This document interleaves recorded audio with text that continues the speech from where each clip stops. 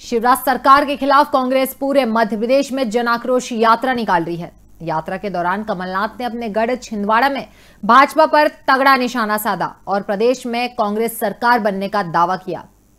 कांग्रेस की जन आक्रोश यात्रा जब कमलनाथ के गढ़ छिंदवाड़ा ज़िले के परासिया पहुँची तो जनसैलाब उमड़ पड़ा। प्रदेश के पूर्व मुख्यमंत्री कमलनाथ ने सभा में भाजपा सरकार को आड़े हाथों लेते हुए कहा कि बीजेपी के शासन में प्रदेश का युवा बेरोजगारी से त्रस्त है। हर वर्ग के अंदर शिवराज सरकार को लेकर गुस्सा है। भाजपा सरकार झूठ की मशीन है।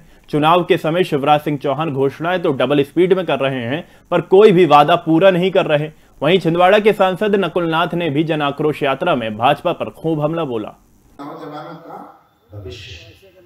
यही नौजवान हमारे मध्य प्रदेश का, हमारे छिंदवाड़ा ज़िले का निर्माण करेंगे भविष्य। अगर इनका भविष्य अंधेरे में रहा तो कैसा निर्माण होगा? हमारी माताओं और बहनों ने कितने प्यार से पाला पोसा है अपने बच्चों को, और आज भटक रहे। चुनौती पूरे प्रदेश के कारण घूम रहे और शिवराज सिंह जी हर दस ग्यारह महीने कहते हैं, एक लाख नौजवानों को रोज़गार मिलेगा।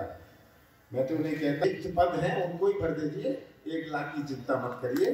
जो चुनाव पास में है शिवराज जी की घोषणा की मशीन डबल स्पीड पर चल रही है डबल स्पीड पर। इनकी झूठ की मशीन डबल स्पीड पर चल रही है। और शिवराज सिंह जी जो ऐसे हैं कि झूठ को भी शर्मा देते हैं।